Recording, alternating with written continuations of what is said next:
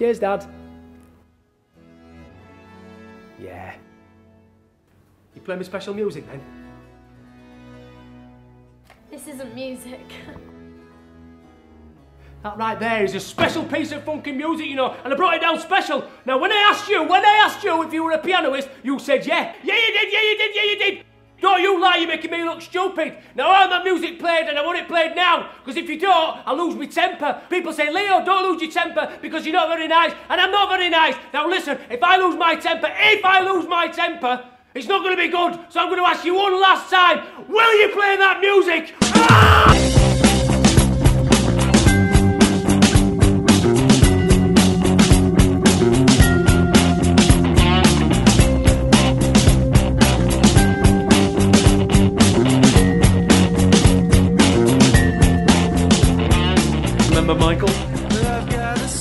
I'm warning you! Tom, stay away! Yeah, no, you're bringing your mom. She's dead.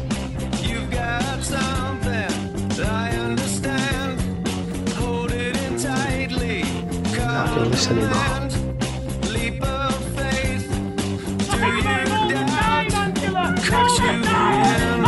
just cut you out.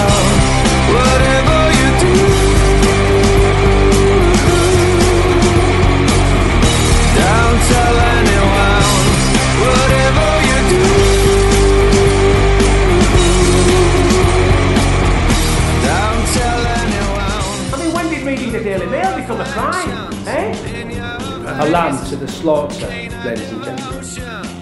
An easy catch.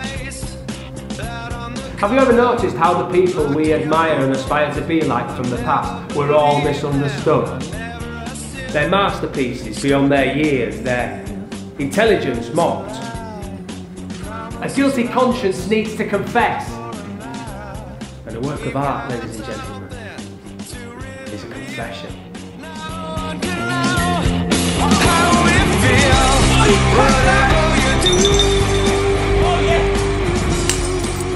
Electricity that's got us in this mess we're in today.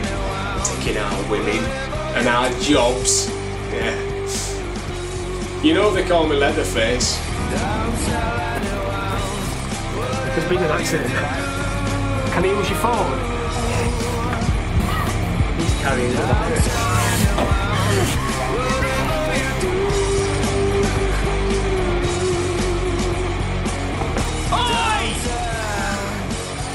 you think I was just going to let you walk away with my money?